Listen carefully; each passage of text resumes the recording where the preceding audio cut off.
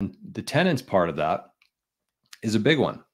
So if you looked at a spreadsheet, and unfortunately I don't have one available here, but if you looked at a spreadsheet of a rental house, it would say rental income. That's how much your tenants are paying you. Then you have your property tax. Then you have your mortgage. Then you have your interest.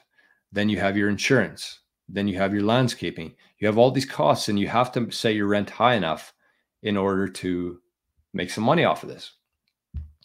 But what you don't include there, and what most people miss when they have rental homes, is your time. So if you have rental house, you are the person who has to find tenants. You have to go through the trouble of sifting through their applications. You have to call them all. You have to call their references. If there's a lot of turnover, you have to do this quite often. So that's one aspect of it is your time is not included in that profit and loss within real estate. And if you're somebody who values your time, that's a big part of it, right? That's a big part of it.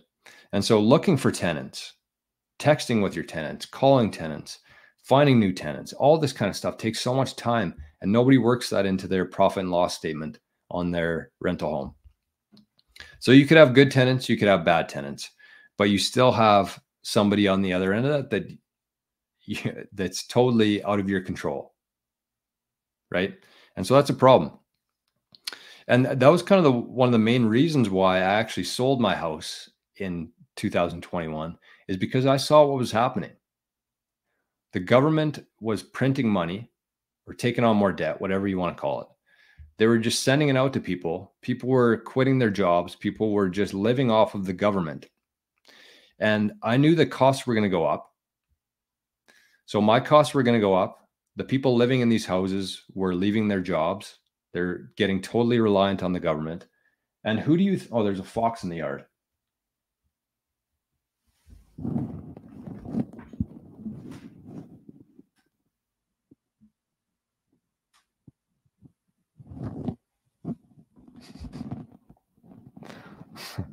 I should let Arnie go see him. Pretty cool. Anyways, where was I there?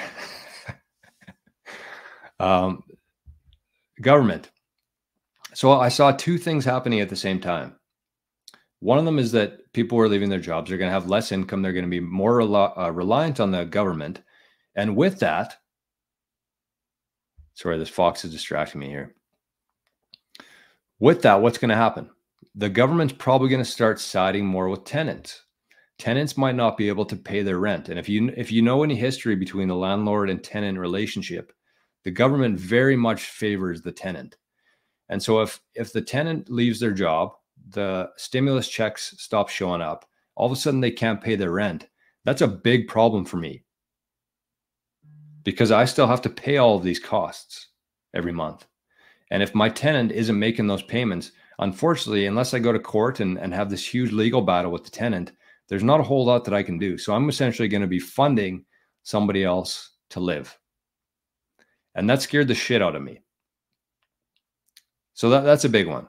You have to consider your time and you have to consider what's going to happen here with UBI, with stimulus, with government control, all that kind of stuff. It's just not, I don't want to be in the middle of that.